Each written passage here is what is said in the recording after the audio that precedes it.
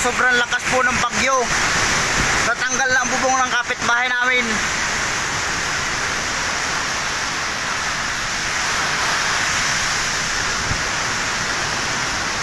Ayan po. Ayan po ang nangyayari ngayon. Live po yan dito. Sa barangay lang Kalangkuan Norte.